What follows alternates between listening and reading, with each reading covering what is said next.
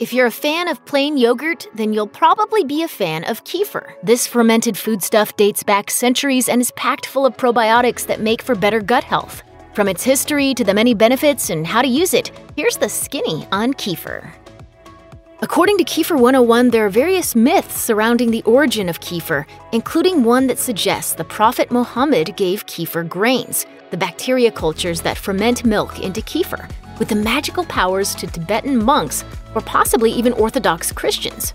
These recipients were given strict dictates not to share the grains with others, lest they lose their magical powers. In a nod to this piece of folk history, common alternate names for kefir grains and kefir, respectively, are grains of the Prophet Muhammad and drink of the Prophet.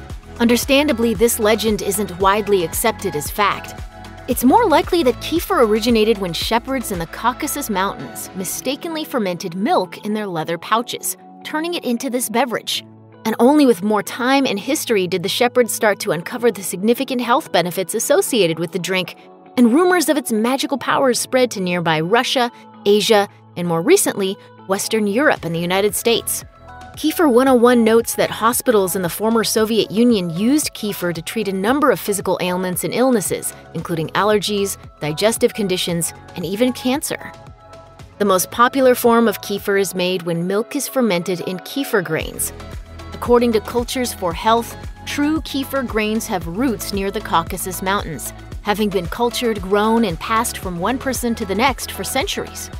These specific and unusual cultures, primarily kefirin, which gives kefir its name, contain bacteria and yeasts that feed on milk and look a little bit like gelatinous cottage cheese. Kefir is the only fermented dairy product known to come from grains. Because these kefir grains are made up of active bacteria and yeast, they're essentially a living organism. Depending on where you get your grains and how they're being used, the makeup of the microorganisms in the grains and kefir can change. The actual fermentation is simple. The grains go in a bottle or container of milk for about a day to feed, fermenting the milk and creating kefir. While milk kefir is the more popular kefir drink, water kefir is also an option. But you can't simply place the milk kefir grains in water and end up with water kefir. You need different grains. Water kefir grains have a similar consistency to milk kefir grains, but according to Kefir 101, they're more crystalline, looking more like rock salt than cottage cheese, and the resulting drink has more fizziness to it, with an appearance closer to beer. Water kefir grains are placed in sugar water, juice, or coconut water, giving the grains sugars to feed on as they ferment the liquid. Tastes better than it smells. Oh, it's actually a little bit carbonated. It's got a little it's bubble carbonated to it. From It's the not ferment- bad. According to Cleveland Clinic, probiotics are the beneficial bacteria and yeasts that live inside the body. It's completely normal and healthy to have bacteria living inside your gut to help combat bad bacteria and support healthy immune function. While everyone has probiotics living inside their bodies naturally, illness, stress, an unbalanced diet, and taking antibiotics can all affect the body's microbiome, and in some instances, wipe out healthy bacteria. Consuming probiotics in your diet can help restore a healthy microbiome and support overall health. Kefir is packed with probiotics. According to the book From Kefir with Love An Irreverent Guide to Making Kefir and Healing Your Gut Naturally, kefir has the most probiotics of any naturally fermented food, with between 30 and 50 strains of bacteria. Author Whitney Wilson explains that kefir is one of the only probiotics that can help repopulate the gut's good bacteria, rather than simply passing through the digestive system.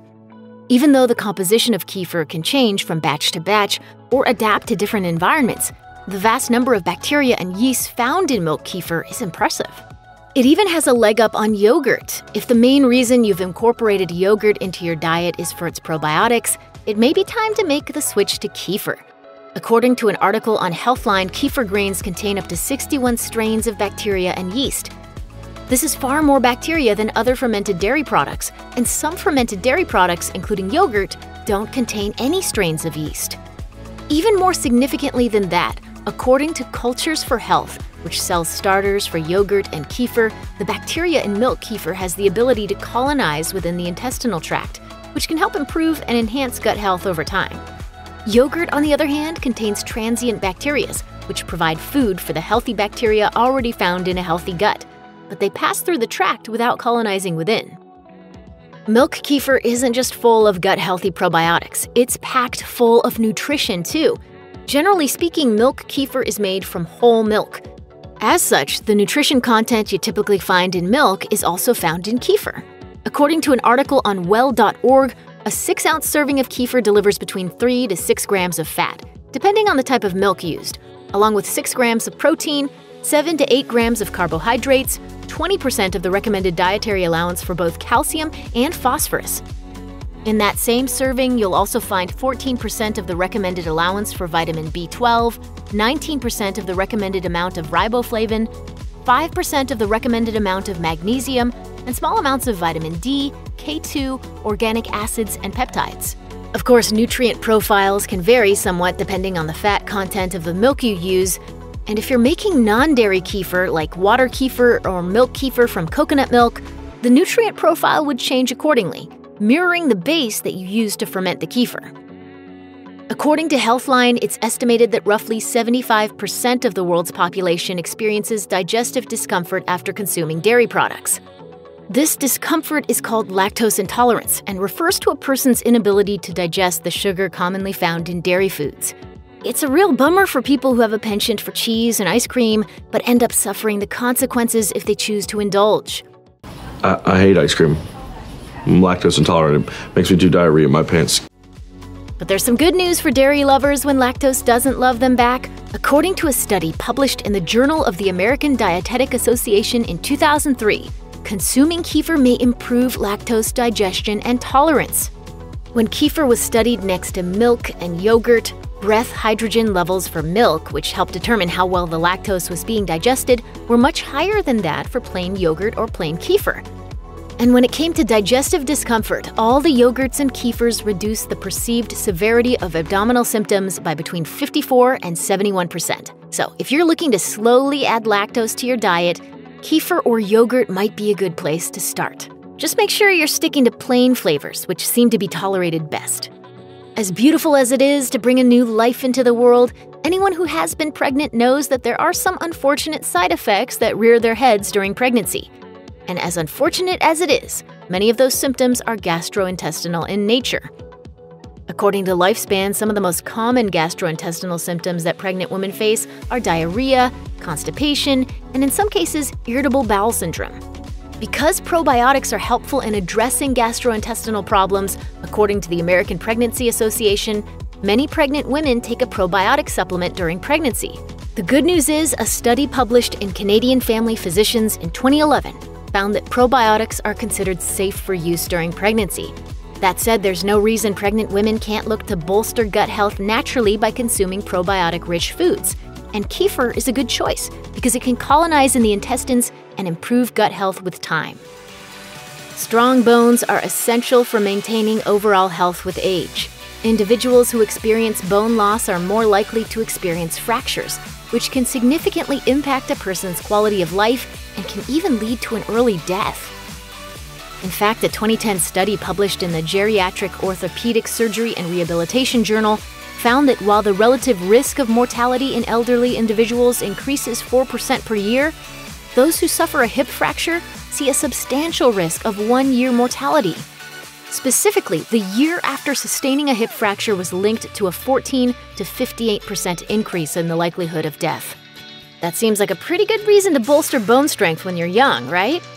According to an article on Healthline, kefir appears to be a good way to increase calcium intake to meet recommended daily allowances. Plus, kefir contains vitamin K2 in addition to calcium, which helps enhance calcium metabolism and can help reduce the risk of fractures. My asthma. They said they'd fix it, but it didn't make any difference at all. Maybe kefir can help.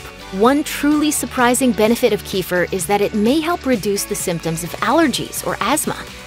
While studies to this effect are still limited and mostly focused on animals rather than humans, there's some evidence that kefir can suppress airway inflammation associated with asthma. In a 2007 study published in Immunobiology, researchers administered kefir to mice an hour before inducing airway inflammation that would mimic asthma symptoms. For mice that were given kefir, the increase in inflammatory cell count was significantly inhibited, leading researchers to note Kefir displayed anti inflammatory and anti allergic effects and may possess new therapeutic potential for the treatment of allergic bronchial asthma. But to be clear, this study was performed on mice, not humans, so please don't go replacing your inhaler with a cup of kefir. That said, if you're looking for a natural way to support your other asthma and allergy symptoms, kefir may be able to help you out, and in all likelihood, it won't hurt you. While you can always grab a bottle of pre made kefir off your grocery store shelf, kefir is surprisingly easy to make at home. Really, the only ingredients you need to make it are kefir grains and milk. You can ask a friend who makes kefir to grow extra grains for you, or you can purchase dehydrated grains from an online retailer. Once you have your milk and kefir grains, it's really just a matter of mixing the two and allowing the fermentation to do its thing. Cultures for health notes that you need a clean glass jar, a breathable cover for the jar, like a coffee filter or paper towel, and something to secure the cover to the jar, like a large rubber band. Then you simply place the grains in the jar and add milk, securely covering the jar with your preferred cover. The jar can be placed on your counter, allowing the milk to ferment for about 24 hours. Once the kefir is fermented, stir the mixture with a non metal spoon and transfer the kefir to a separate glass container, using a strainer to remove the kefir grains. The beauty of kefir, beyond its health benefits, is that it's easily incorporated into recipes in place of milk or yogurt. One obvious place to use kefir is in smoothies. You can simply use the liquid in place of water, milk, or yogurt, enhancing your daily probiotic intake when you make the switch. Though sites like Buttered Side Up offer recipes for indulgences like a strawberry cheesecake smoothie, you don't need a fancy recipe. Just throw blueberries, a banana, a handful of spinach, and some kefir into your blender and whip up a tasty, nutrient packed breakfast in minutes. But smoothies aren't the only way you can put kefir to use. According to Kefir 101, you can incorporate kefir into bread, cultured vegetables, or even guacamole. And Health Food Lover offers more than 80 ways you can use milk kefir in your cooking, offering ideas like kefir based pizza dough and kefir infused cakes. And if you ever run out of ideas, Pinterest is your best friend. You're unlikely to run out of ways to use kefir while scrolling through other people's blog posts about it. Check out one of our newest videos right here. Plus, even more mashed videos about your favorite health foods are coming soon. Subscribe to our YouTube channel and hit the bell so you don't miss a single one.